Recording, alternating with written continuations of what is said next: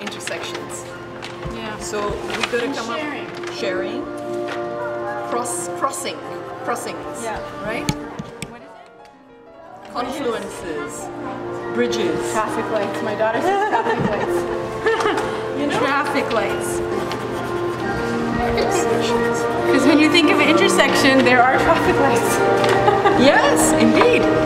So uh, now, do, one question that comes to my mind is that do we all want to have a little bit of um, input onto this thing, or do we want to section this off with the number of people that are here, and each person does their own thing in their little space? I think what we should do is build off Okay. because if we, Because it's if more section it interactive, off, right? Yeah. Then so why don't we do this? Why don't somebody start for ten minutes or as, as you feel comfortable, And then we build. and then somebody else can join in and take over.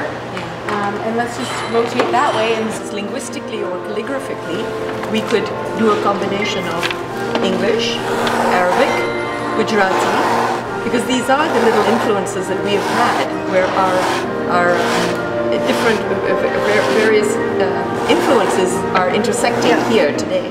Right, we st- uh, start um, a different area here? sure. Yeah? Just- You're done.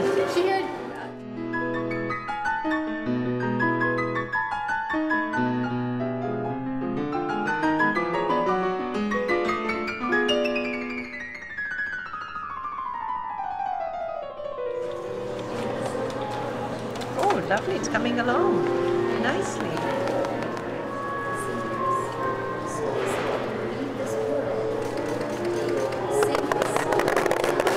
from clerical error, her name was missed on me.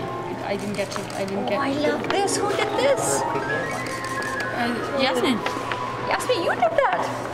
Wow. What should I do? And she just goes for it. She does it. She sees a spot that needs some paint. What do you think? This is Mike Up There we here. go. Do you think those, those things have to be certified? eh? I think she goes by impulse. Yeah, me too. Watch her. You don't just do it because Hi, my name is Taslim Samji. I'm the artist curator for Intersections, Discovering Infinite Possibilities, the exhibit going on at the Roundhouse right now. Four or five artists came together uh, without any preconceived notions of, in terms of what we would create, and just uh, letting go and being in the enjoying the process of it. We came up with uh, this interesting piece, and uh, well, you can take a look at it. It's got amazing color and it's got a lot of freedom, I think, in the piece.